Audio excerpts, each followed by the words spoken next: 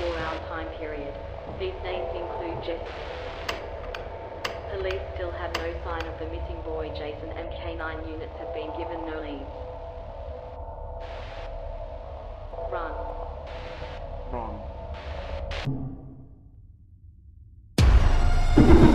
Run.